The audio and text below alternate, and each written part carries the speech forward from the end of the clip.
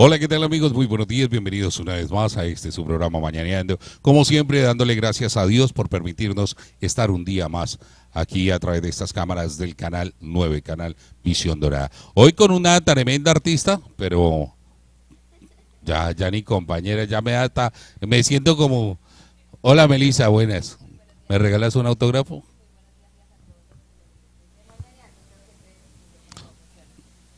Pero todo eso se le vale a las artistas.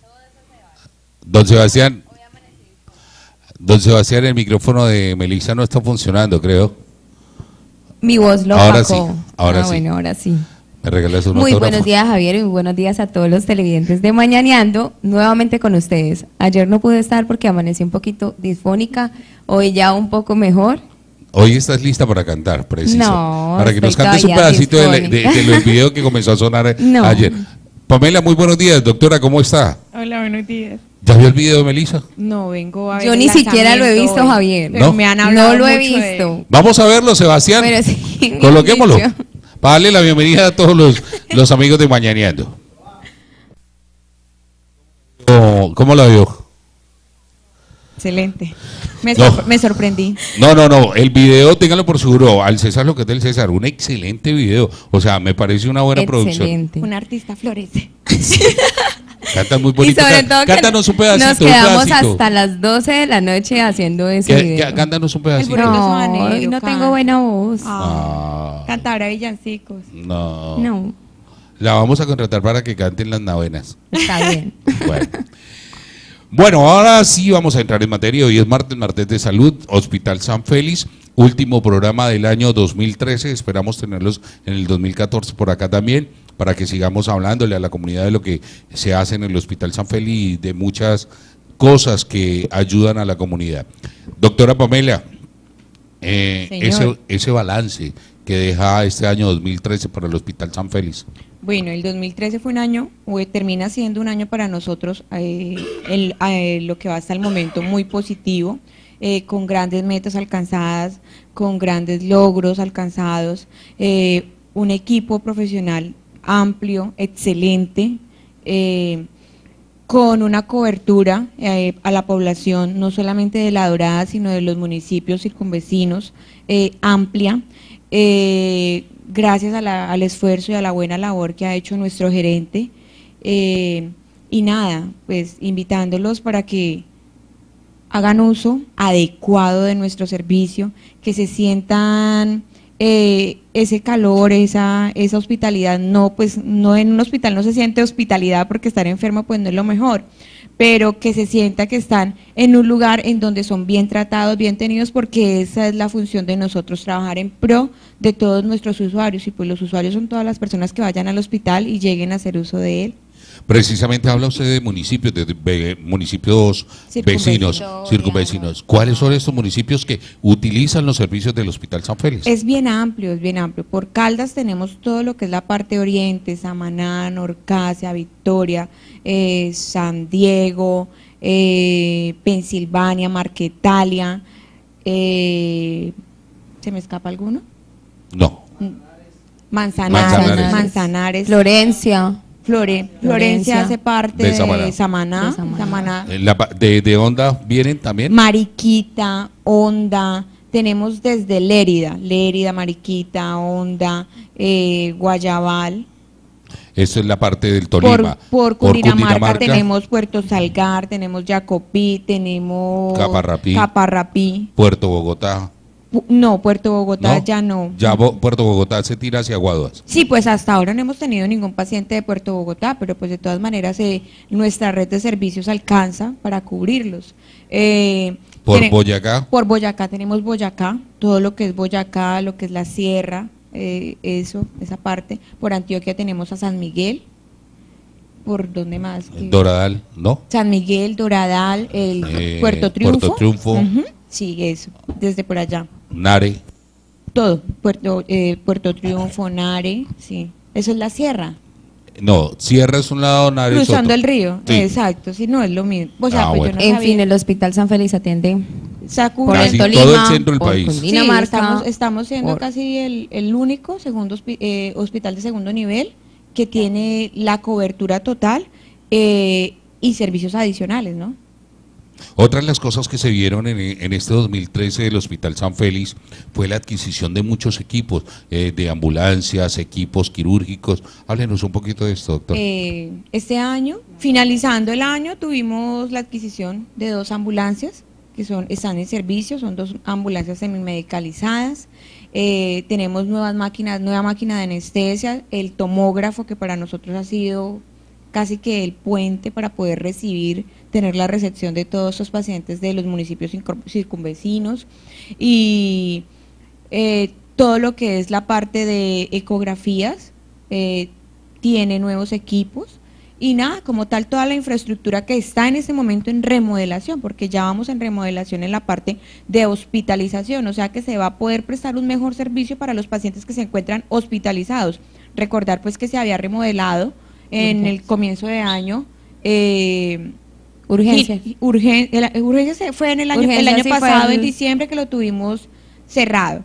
Y eh, este año se remodeló ginecología y pues vamos estamos en este momento en proceso de remodelación y hospitalización. ¿En, qué parte vamos del hospital remodelado? Hospitalización. Hospitalización. Hospitalización. Ahí, vamos. Hospitalización es, es, el lugar en donde se hospitalizan todos los pacientes. Ginecología es el área exclusiva para las mujeres que son maternas. Y hospitalización. Ya le, ya le vemos otra cara al hospital, ¿no, Javier? Totalmente. Eh, de pronto para, para, yo lo había dicho en varios programas pasados, la parte de ginecología, eh, tuve la oportunidad de, llamémoslo a, en buen término, de calificarla, tanto el servicio como sus locaciones, y 100%. El personal muy, muy amable, eh, las habitaciones, todo perfecto. O sea, el hospital ha cambiado un 100%. Y hemos tenido la experiencia de, de la atención, ¿no, Javier? Sí, Tú tuviste la experiencia, yo también la he tenido. Sí. Eh, vamos a ir a un break de comerciales y ya regresamos. La gente está pidiendo más el video, ¿cierto? Que vuelvan y lo coloquen. Sí, sí. Sí, por ahí lo volvieron y por ahí escuché. Así que vámonos a un break de comerciales y ya regresamos.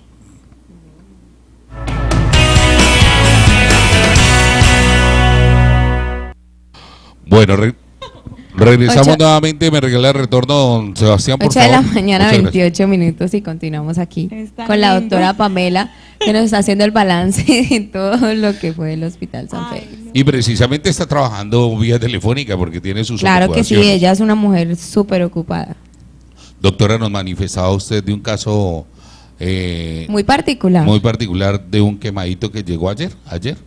Eh, pero no por Pero no por pólvora. Sí, pues aprovechando que estamos ya como cerrando lo que es nuestra parte, digamos que social eh, y de prevención del hospital, eh, pues primero hacemos énfasis en que tengan mucho cuidado, que los niños no manipulen pólvora, de hecho la pólvora no se debe manipular, debe ser por expertos. pero no solamente la pólvora, ¿no? Los niños no nos están llegando quemados únicamente por pólvora, sino por descuido a las mamitas hay que recordarles, primero ser mamá no es fácil.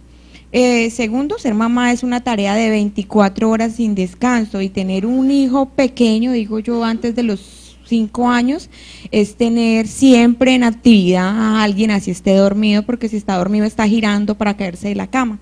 Pero pues uno tiene que prever lo que va a pasar. Eh, casos muy puntuales, niños que se caen en ollas calientes. ¿Qué hace una olla caliente en el piso?